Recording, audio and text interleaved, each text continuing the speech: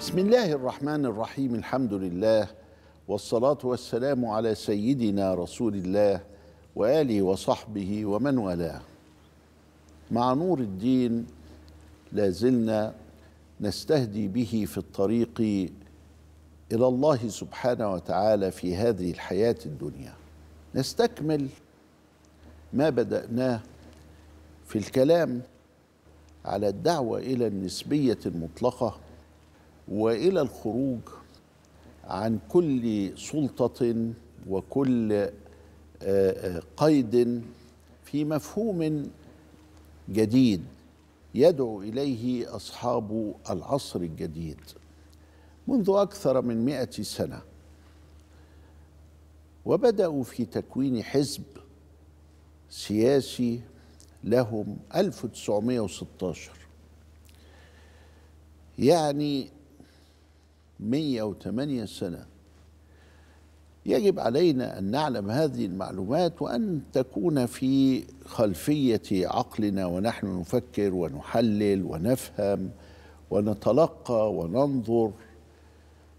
بدلا من يقوله البعض من نظرية المؤامرة وليس في مؤامرة ده كل شيء علني وكل شيء معروض. ومعروض بقوة وقسوة أيضا وعنف. ونحن ننظر إليه وندرسه ونرى. لما نعايره بمعيارنا معيار الديانة أنا أريد في النهاية أدخل الجنة. حكاية بسيطة واضحة لكنها عند الله عظيمة. لأن ربنا خلقنا من أجل أن نعبده وما خلقت الجن والإنس إلا ليعبدون. وأمرنا بعمارة هذه الأرض وأمرنا بتزكية النفس وأمرنا بطاعة الرسل وأمرنا بأن نؤمن بأركان الإيمان ومنها يوم القيامة الذي لا يؤمن به كثير من الخلق ولكن الديانة تحتم علي أن هناك يوما آخرا وأنا لن أخرج من ذاتي ولا من نفسي.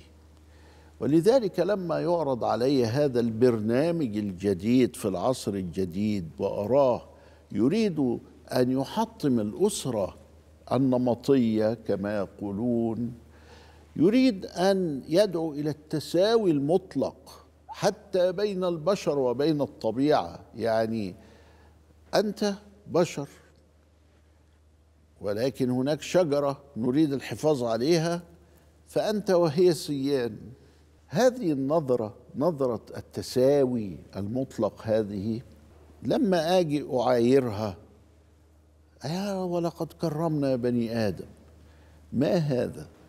أنا ارفضه ولماذا أرفضها؟ لأن المعيار الذي اتخذته لنفسي مقتنعا به ومعتقدا فيه أنه الذي سيصل بي إلى رضا الله وإلى يوم القيامة الذي فيه هذا الخير العميم الذي صدقته ولا أريد احدا أن يشككني فيه فبهذا المعيار القبول والرفض فليعرض علي ما شاءوا من أفكار ولأقيسها بمعياري ثم بعد ذلك أقبل أرفض وهكذا.